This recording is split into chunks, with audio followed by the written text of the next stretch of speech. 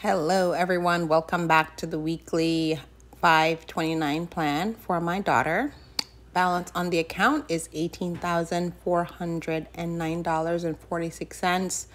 This balance is actually down from last week. The stock market didn't perform too well, which that's been her theme for the past, what, year and a half at this point.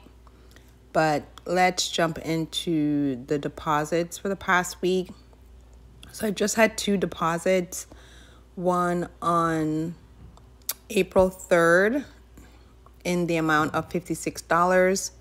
There is a 90 10 percentage split between the two ETFs in this account. So 90% of $56 is $50.40. That went into the growth stock ETF and then 10% of $56 is $5.06 and that went into the aggressive growth.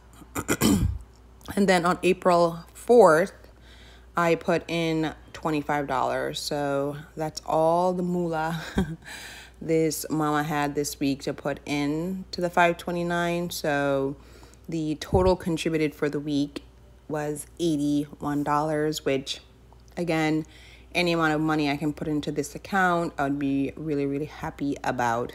And this 529 will be converted into an ABLE account, which stands for Achieving a Better Life Experience. It's an investment account for people with disabilities because my daughter does have a severe disability.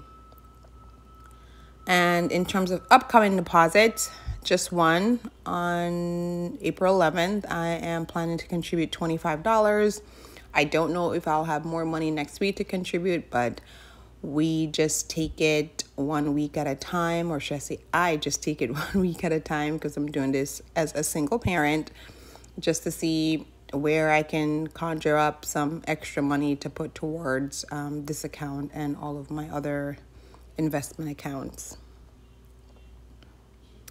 And year to date contribution on the account is $4,475. Yay, we're almost to 5000 It's definitely going to take a couple months before this account hits 5000 I'm not sure when, maybe sometime in July, mm, August. But we'll see.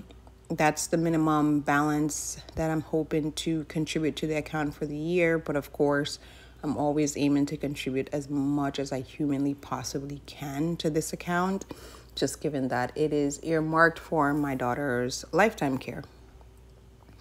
And that is the latest and greatest for this account. Let's just pop over to the performance.